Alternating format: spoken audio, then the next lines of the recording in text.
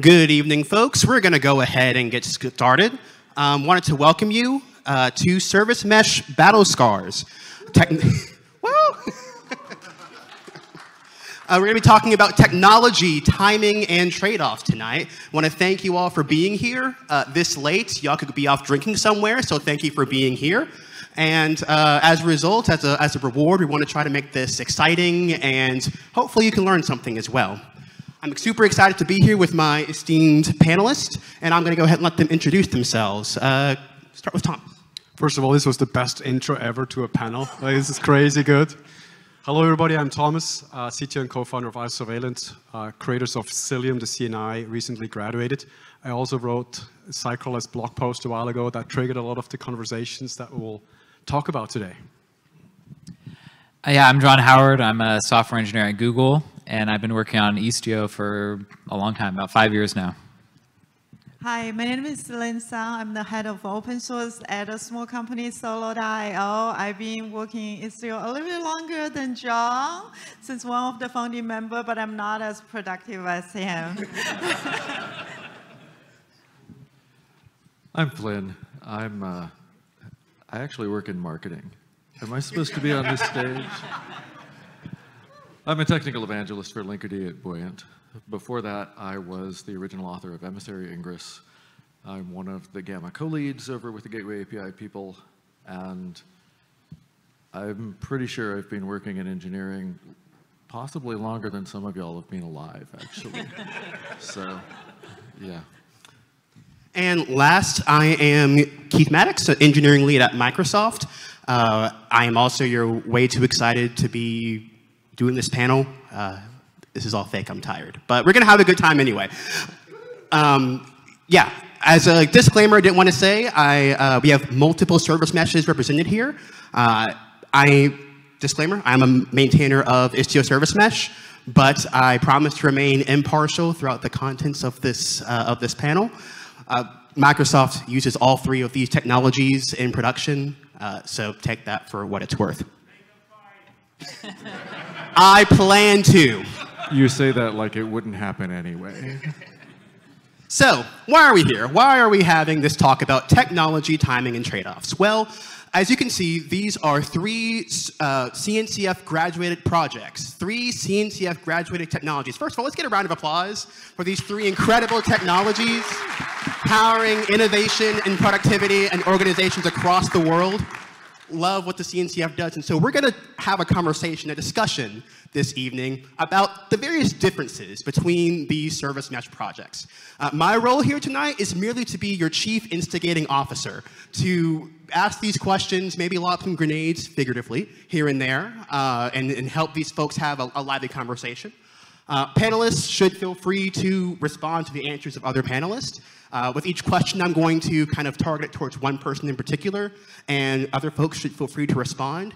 If things are going too slowly or too boring, I may call on people individually.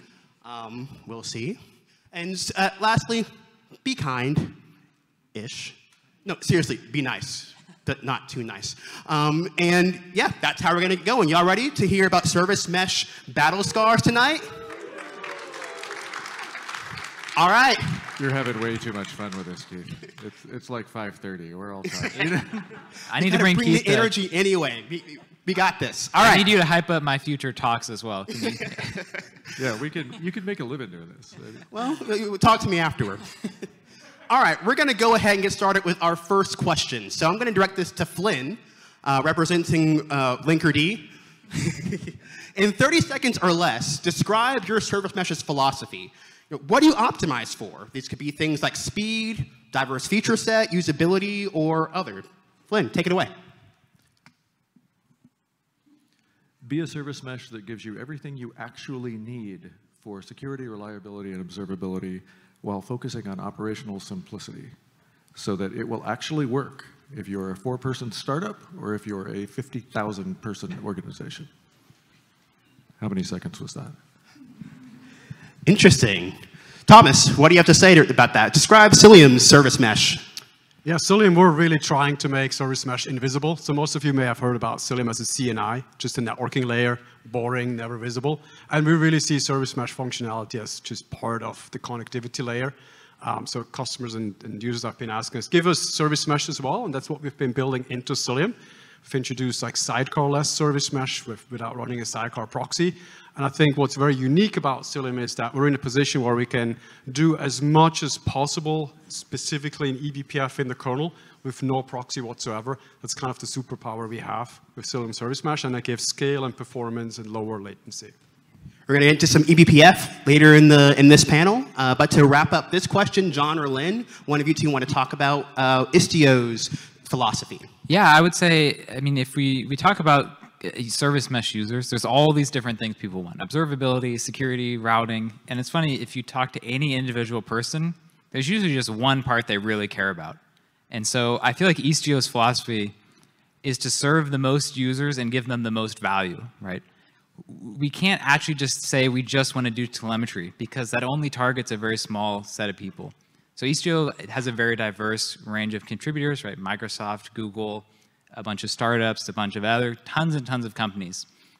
And each one's coming with their own priorities that we balance as a project to give the most value to the most people. So that's kind of where I view uh, Istio's philosophy. Yeah, I'm not going to spend 30 seconds because it's not fair for a project. So I'm going to spend 10 seconds. I think Istio's philosophy is simple stuff should be simple and complex stuff should be possible. Love that. Love that. So, if you're new to Service Mesh, if it's maybe your first time hearing sorry, about some of these. Did you really just say Istio and simple in the same sentence?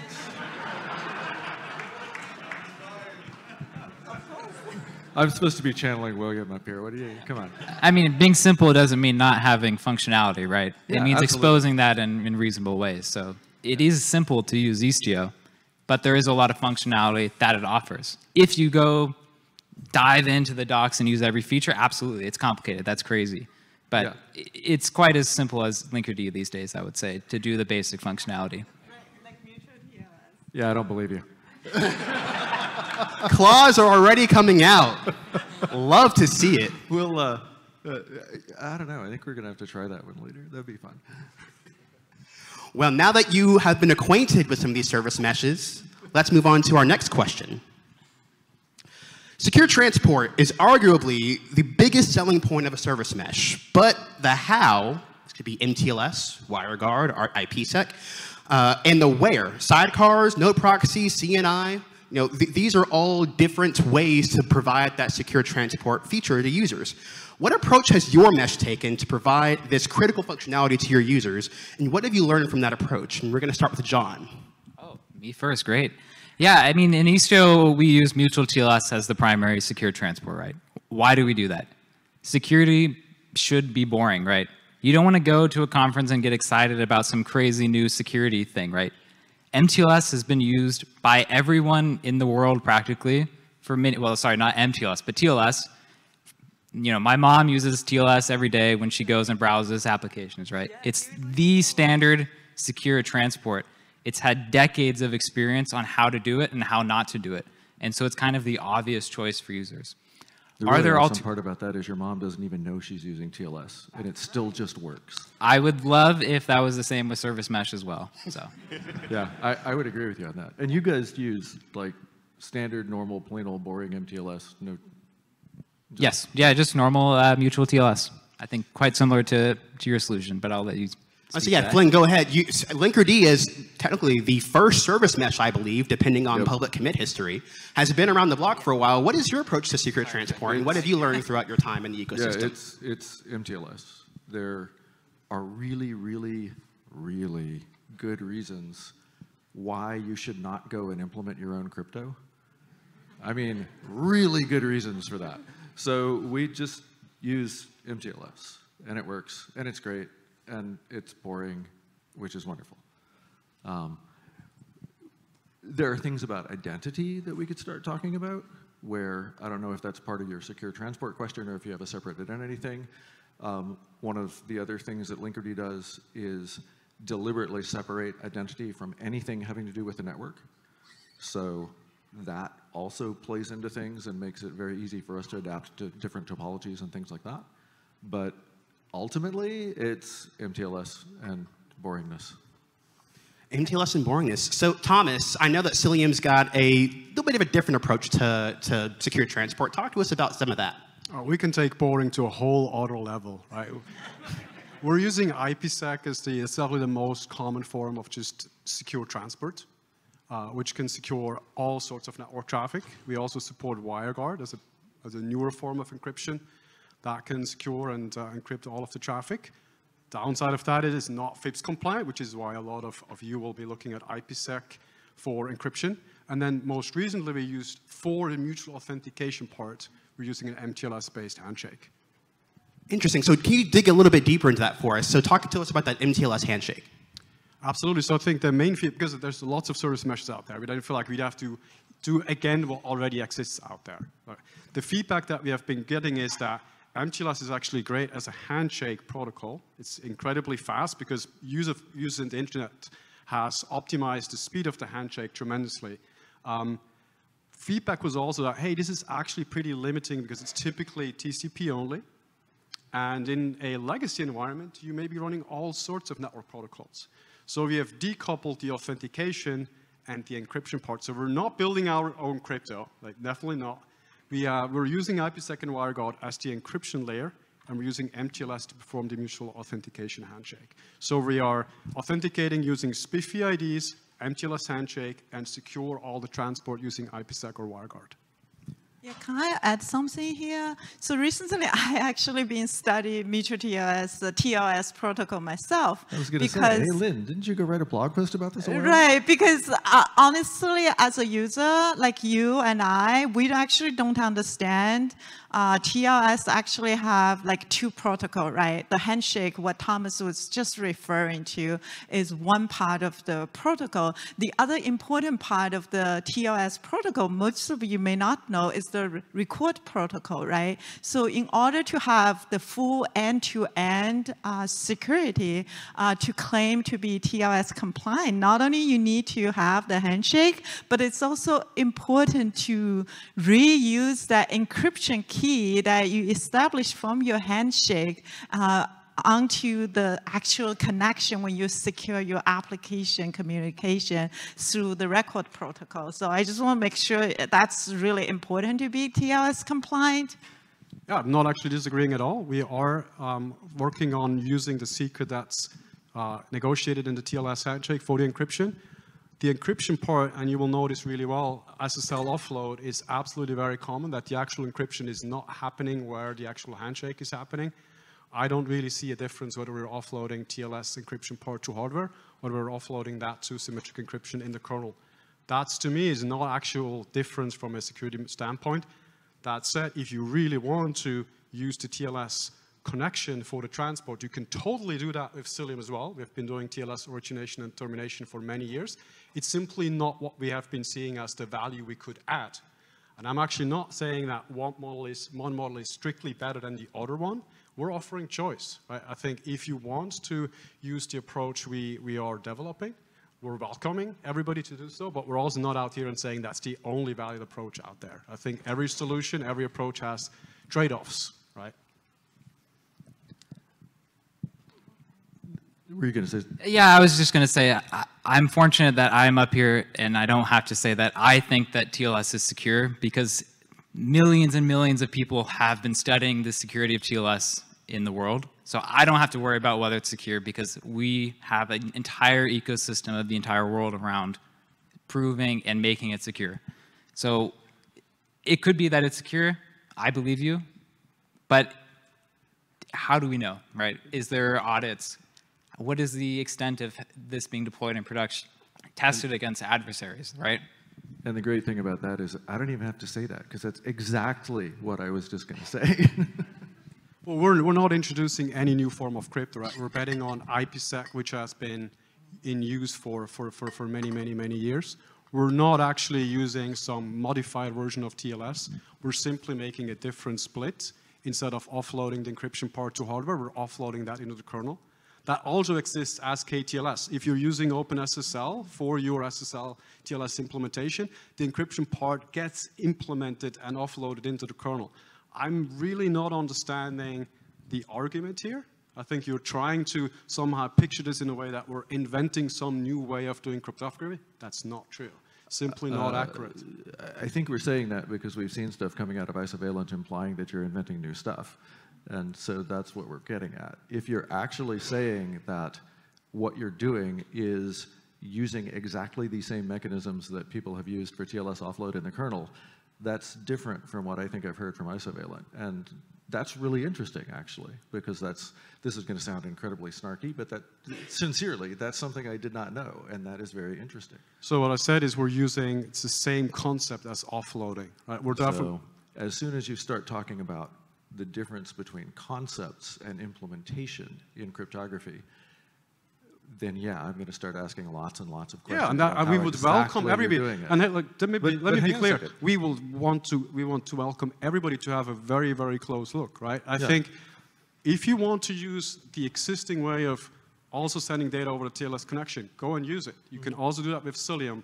We're offering another choice where we would welcome everybody and even encourage everybody to have a very very close look and actually work with us to validate the model because it clearly has benefits but we're also all very interested that it's actually as secure or more secure than what currently exists. Two minute warning on this question, and then we'll keep moving. But continue. Yeah, that is the reason why we're pushing back on it, though, right?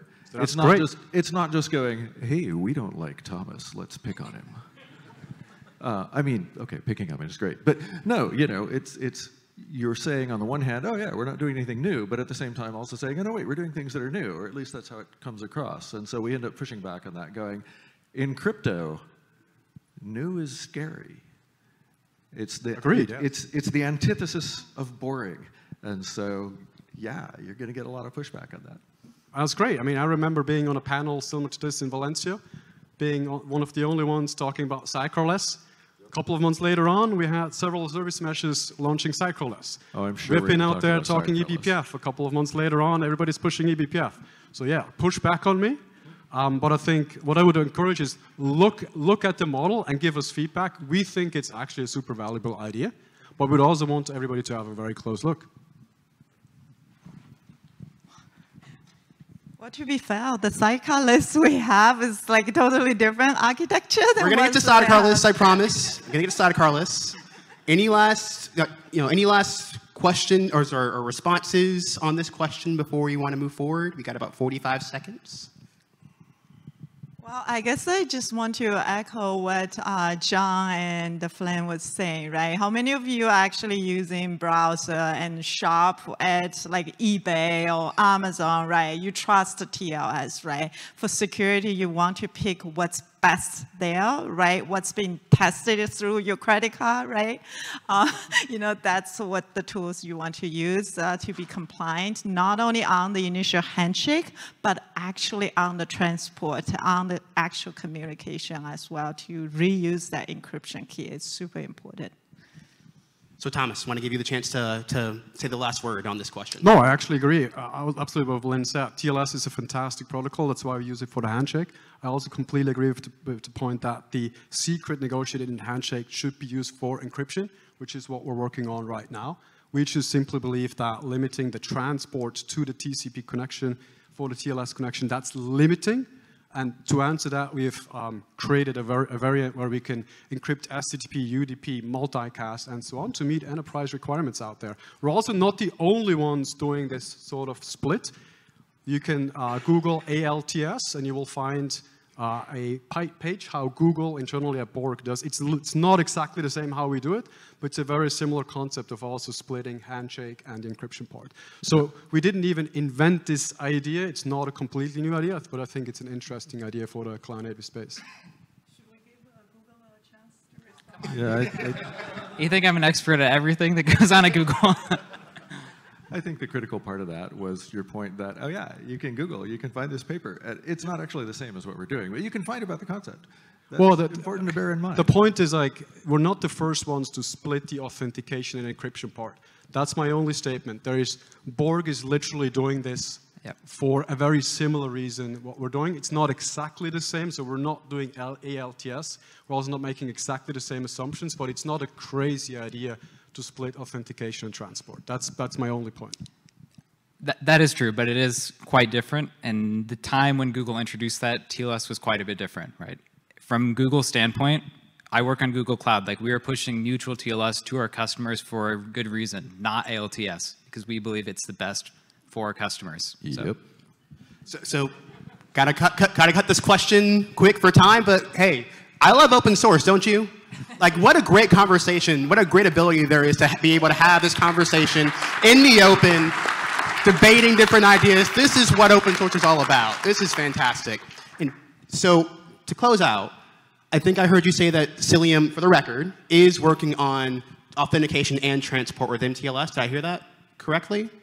Yes, absolutely. So you can already use TLS to secure your connections today. Since many years, TLS origination termination, we're simply introducing a new form which has benefits, and that's what we've been talking about here as well. And you can, of course, do IPsec and WireGuard for the entire encryption, many years supported.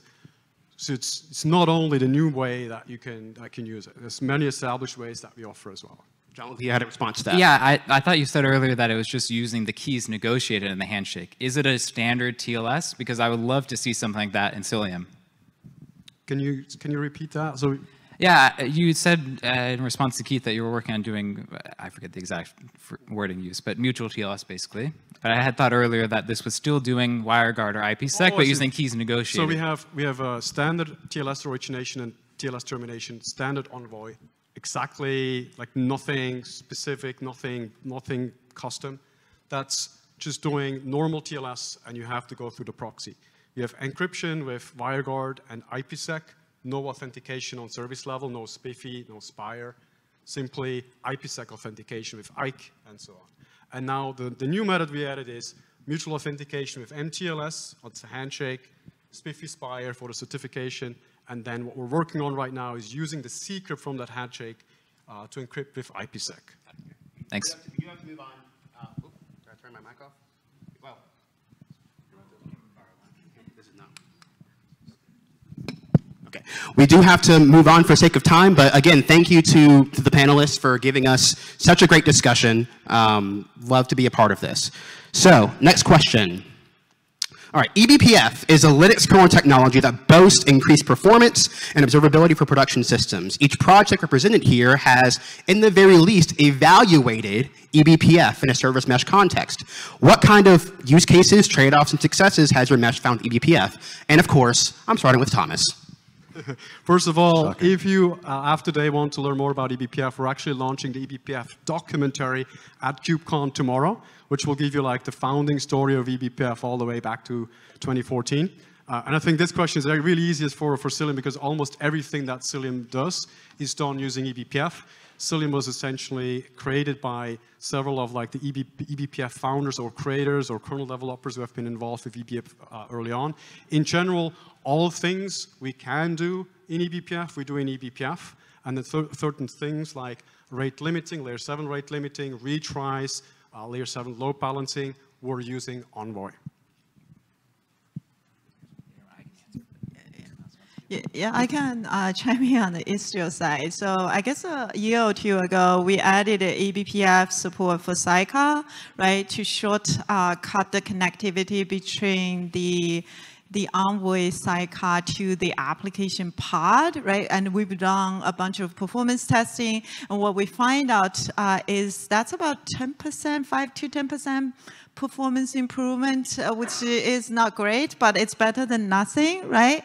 Um, and then most recently, uh, so that's an ecosystem project in Istio. It's called Merbridge. Most recently, we also added eBPF support uh, for the traffic redirection between the zero trust tunnel to the application pod um, using uh, using also eBPF for ambient. So we've we've done a lot of work with eBPF in the Istio community, but uh, the acceleration we've seen is about 5 to 10% uh, improvement on latency. Yeah.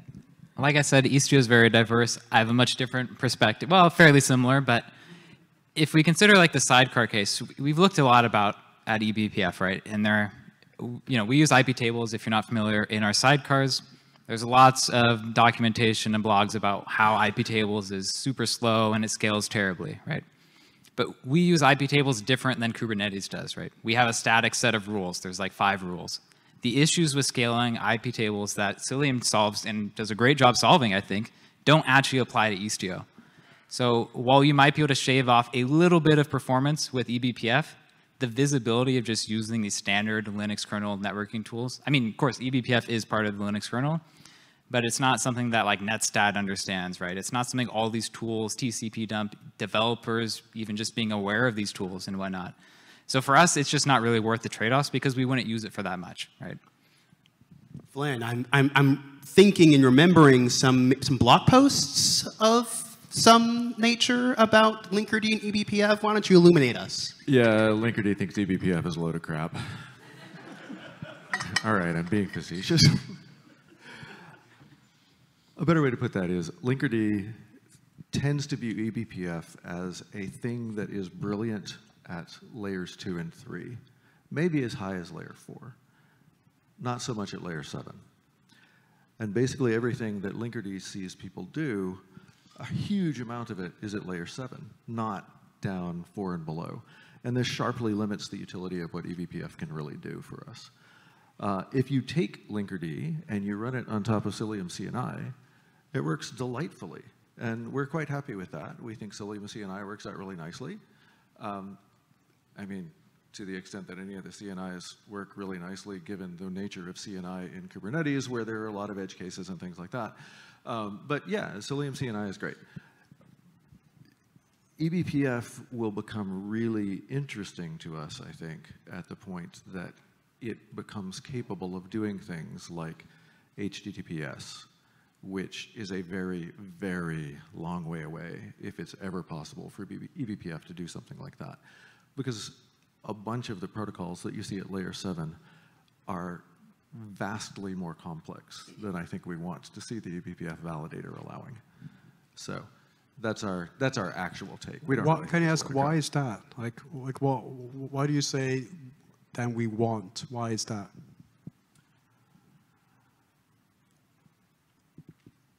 You've presumably looked at the protocol details of HTTP. We've written an HTTP parser to yeah. HTTP2 parser in eBPF, and it gives amazing benefits if you can, without a proxy, get open telemetry data at essentially zero overhead. So that's a fantastic story. And every time we demo that and show that, it's yeah. like, great. Why do I not want that? That's great. So I'm asking, why would we not want that? That's, that's, that's yeah. I'm going to have to take a look at that because my guess is that it has a number of sharp limitations that you know the higher level things operating in user space don't have. Or just making like random accusations, like well. No, like, I'm I'm stating my expectations and telling you that I need to look at the code. That's well, what I. I don't think you can because correct me if I'm wrong. It's part of the Cilium enterprise, right? No, it's not.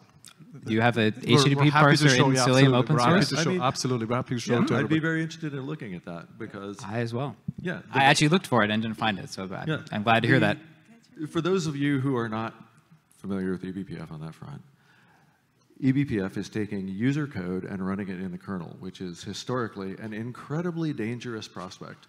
So eBPF has a validator that works very hard to try to decide whether the code you're handling it is going to work or whether it's going to, I don't know, rip your kernel apart and melt it down. Um, the validator tends to be very conservative. If it can't figure out if something is known to be good, it says, nope, not going to do this. So it does not allow things like unbounded loops, for example.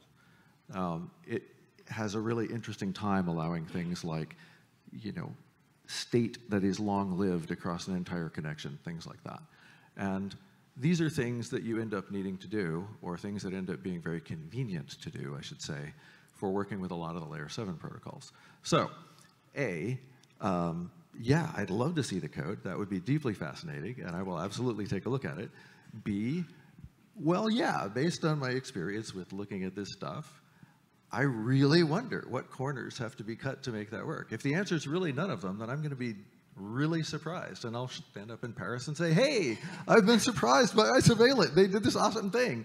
Um, yeah, that would be cool. Yeah, Sorry, can I, can I chime in here quickly? I think I agree with Thomas, what Thomas was saying, right? eBPF is not great with like retry, timeout, some of the traffic function, while Cilium is still relying on Envoy to solve.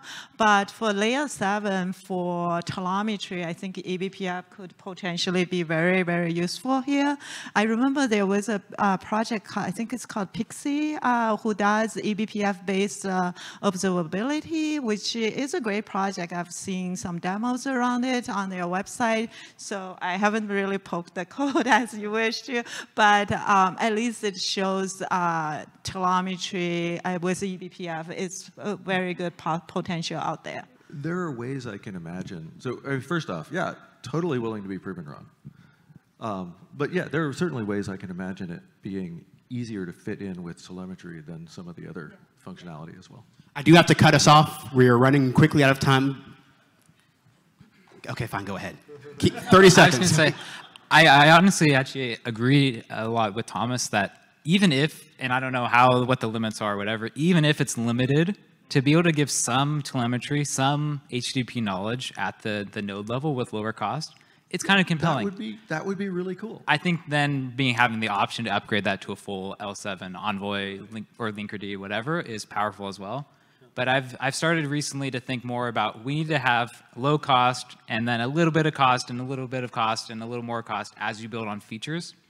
Not like I have nothing or I have the full service mesh and I have to consume everything. So having something that's kind of a step in between can be quite nice. I don't know how, how good it is, but it sounds like it could be something that's quite powerful.